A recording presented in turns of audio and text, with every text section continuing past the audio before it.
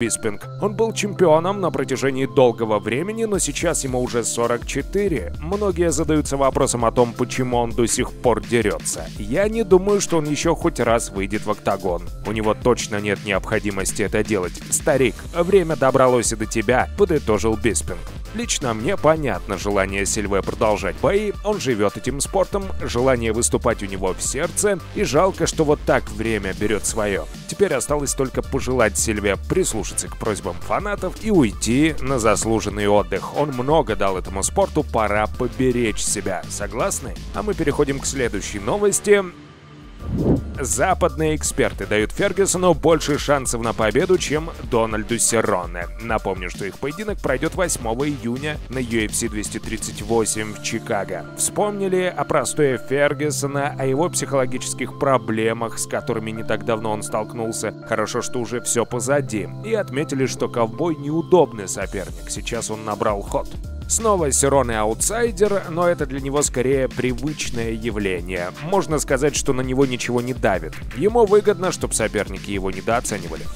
От Фергюсона, конечно, ждут победу, болельщики хотят увидеть поединок Тони с Хабибом, а Сироны такой, что может изменить ход событий. И чтобы немного уравновесить шансы Фергюсона и Сироне, вспомните, как Тони практически в каждом поединке пропускает. И бывает такое, что он буквально выживает.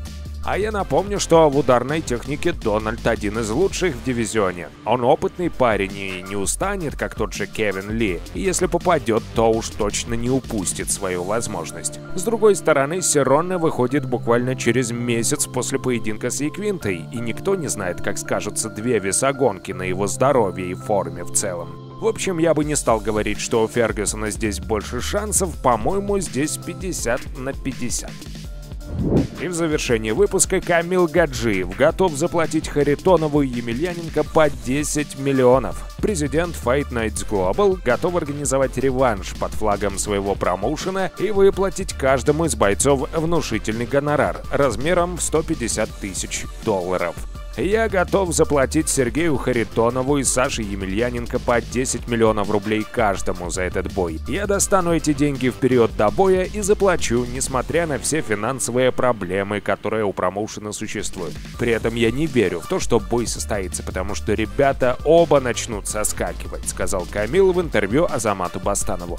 Будет бой или нет, я думаю, было бы интересно. Также интересно, как такие гонорары собираются отбивать. Ставьте лайк, если вам понравилось видео, также заходите ко мне в инстаграм, там новости обновляются каждый час.